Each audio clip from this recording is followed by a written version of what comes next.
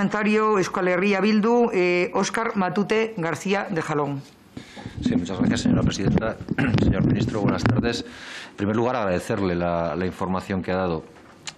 Sí que le, sí que le digo una, una, cosa y se la digo con claridad. Es difícil valorar propósitos. Si uno mira el cronograma de, de la documentación que nos ha enviado, al final son acciones que van a emprender algunas de ellas están recién iniciadas y otras ni siquiera están recién iniciadas, sino que en un calendario pautado que puede ir desde, mm, en algunos de los casos, finales del 21 hasta finales del 22, tienen previsto acometer. Por lo tanto, no son más que buenos propósitos, en algunos casos. En otros yo y mi grupo ni siquiera los tildaría buenos propósitos, pero en el caso de los buenos propósitos no dejan de ser eso. Buenos propósitos que veremos en función de eso que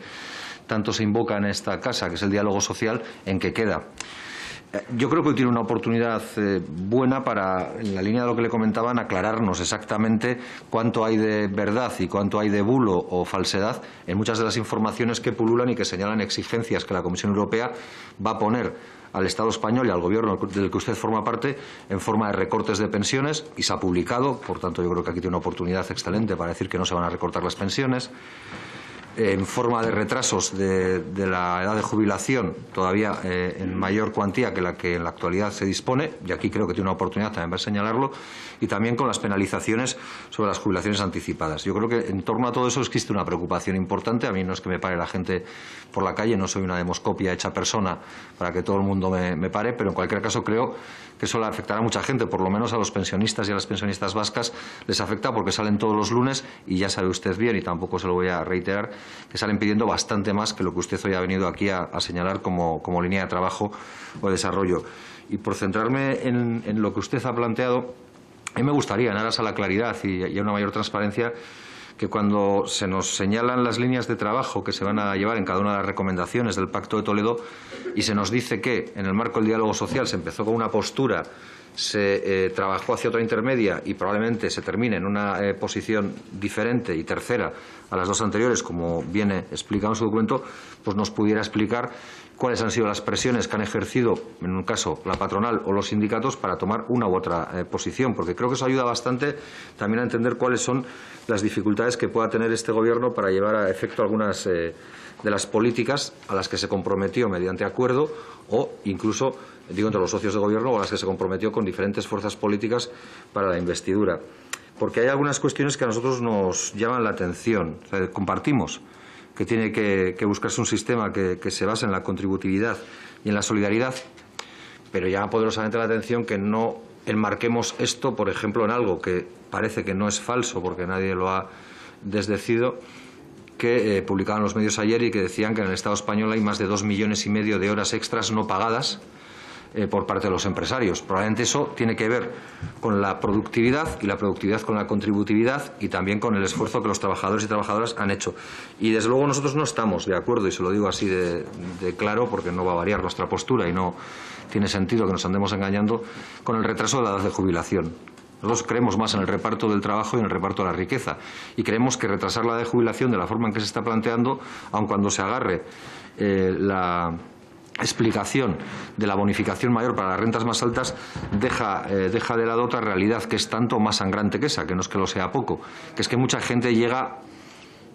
realmente arrastrándose a la edad de jubilación y que les estamos planteando que hagan un sobreesfuerzo todavía mayor para poder tener pensiones dignas, aunque lleven trabajando toda su vida, toda su vida en trabajos probablemente muchos más penosos que los de aquellos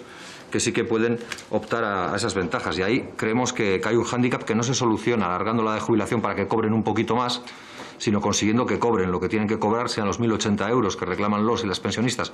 u otra medida, desde luego, no eh, inferior a esa, que permita pensiones dignas para todos y todas, porque nadie, supongo, que pondrá en duda ni cuestión su contribución al sostenimiento del sistema de pensiones durante mucho tiempo, ni su compromiso con, con el desempeño de su labor.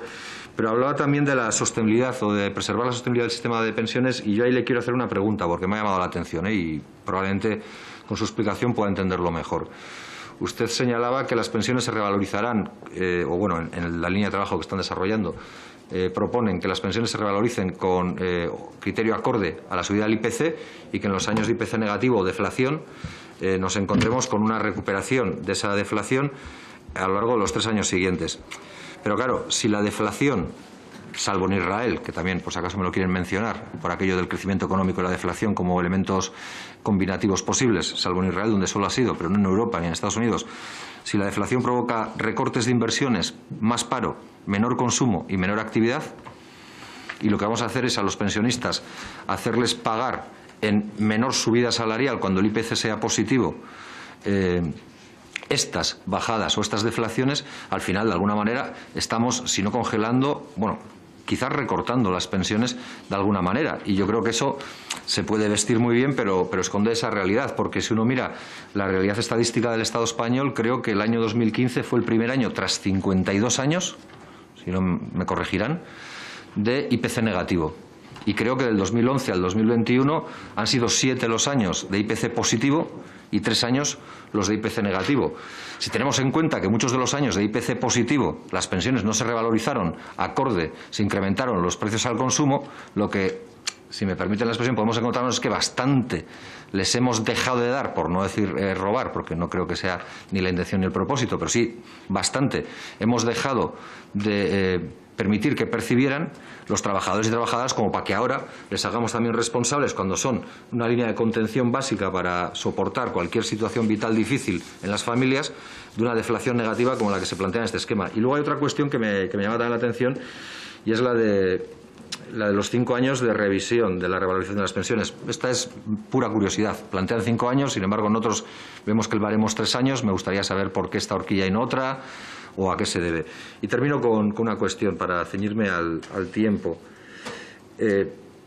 al final, mm, lo que nos llama la atención y lo lamentamos es que nuevamente el factor de sostenibilidad, la derogación del factor de sostenibilidad sigue quedando para mañana o para pasado mañana, que es tanto como para decir para el año 22 y si las cosas no se tuercen y para diciembre del 22 y si las cosas no se tuercen, que viendo cómo vienen de rectas las cosas en el Estado español, en sus diferentes realidades autonómicas, es mucho decir para, para cualquiera. Y lo lamentamos porque esa sí que es una petición que hoy mismo lo hacían los sindicatos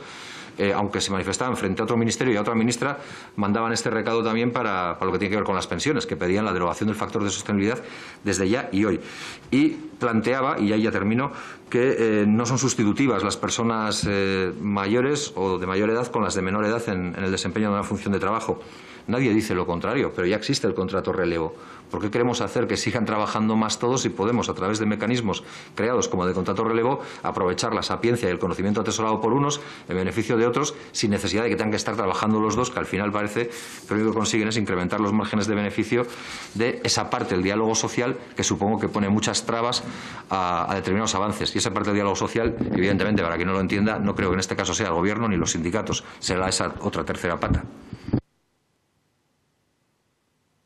Gracias, señor portavoz. Eh, ahora, en tercer